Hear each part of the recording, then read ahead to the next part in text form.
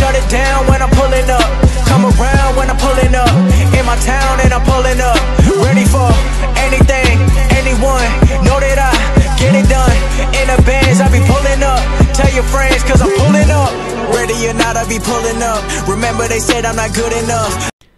Hey guys, what's going on? Welcome to another episode of the Phoenix Suns franchise here on NBA Live 19. And today we are starting a brand new season after our NBA championship win against the Boston Celtics. And we are going to see how the first half of the season goes. We're 36 and 19, third in the Pacific, just behind the Kings and the Warriors, who, of course, the Kings, they've got KD and Marvin Bagley. The Warriors, of course, got Kristaps Porzingis all of a sudden, along with Stephen Curry and Draymond Green. Those guys are all all stars, so it's hard for us to really compete. We had no all stars. Even though Kawhi Leonard's having a great season, so is DeAndre Ayton. He's having a really good season as well. Devin Booker, a little bit of a down year.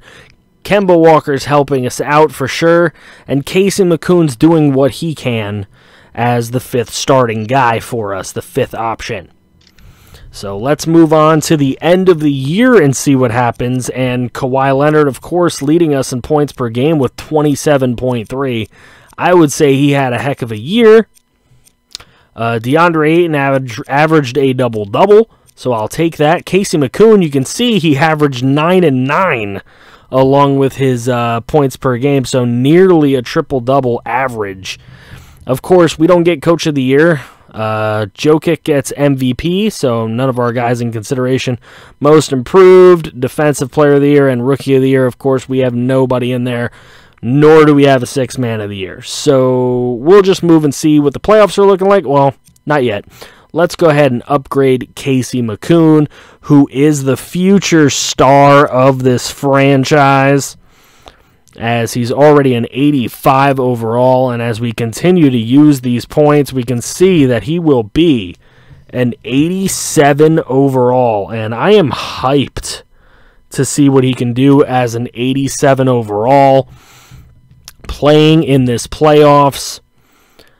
I can't wait to see. He's finally not on the bench, and we're going to be taking on the Houston Rockets as we are the three seed.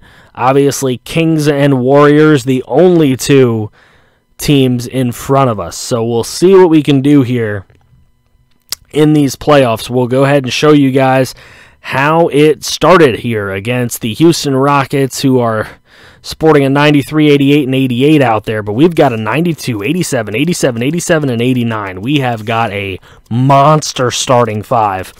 There's no way they should keep up with us, even though they're a decent team, and we know Harden can put points up there but we go ahead and blow them out in game number one. Harden with 34, Paul with 32. But if you look, Ayton with 33, Booker 25, Kawhi 25, but quietly, Casey McCune with 19, 12, and 11. A triple double for Casey McCune.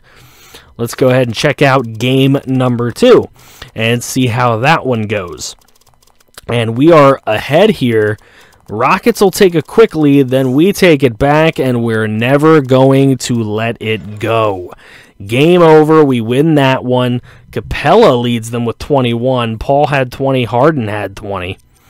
So, all three of their big guys with 20 points in that one. Kawhi Leonard had 31. Look at McCune 27, 13, and 10. Second straight double double triple double, my bad, second straight triple double in these playoffs for Casey McCune, the rising star. We go into the third game of this set, and we've got a nice early lead. In the third quarter, the Rockets take it back, and they are holding it deep into the fourth quarter. So we're going to take over and play some of this for you, show you some gameplay. And we are going to have Bridges with the ball down four points. Bridges is going to pass this one out to McCune. He could have spot up and shot that one, but he didn't. So Bridges coming in, throwing one up, and getting it to go, cutting the lead in half to two points. Now the lead is four once again. He will miss the free throw right there, and we are going to take it. McCune coming down going to spot up and shoot, and he will cut the lead in half down to two points once again. Now the lead is six for Houston, chance to make it 12, and CP3 going to miss but back the other way. Kemba Walker going to nail the three pointer, cut the lead in half, back down to three. Now the lead is one, and there's an interception by Booker. Passed all over the court. Kemba Walker ends up with it and brings it inside for the two and the lead. We are up one inside of a minute to play. CP3 driving in. Very nice take, but does not get the bucket to go. Booker is going to have this one. And Booker's going to throw this one out to McCune. McCune double teamed, and Booker going to take the three, and he gets it to go. We are now up four points. 20 some seconds to go, and CP3 going to miss. We're going to pass this one out. McCune is coming down, and he slams it in for the six point lead, and we end up winning the game by nine. We take a 3 0 series lead on these Houston Rockets. And James Harden had 40 in that game with 11 boards and 8 assists. Hell of a game for him. Looking at our team, DeAndre Ayton had 32 or or 30 what? Kawhi Leonard had 31 points, but McCune led us with 32 and another triple double, his third straight in these playoffs. Now we move into game number four. Can we close it out? It's been a while since we did a full series here in an episode, but we'll see if we can do it here today as we do close it out. So the series is over. Harden with 23, Paul with 22. What happened with our Phoenix Suns? 25 for DeAndre Ayton, but there he is. Casey McCune. Every game was a triple double.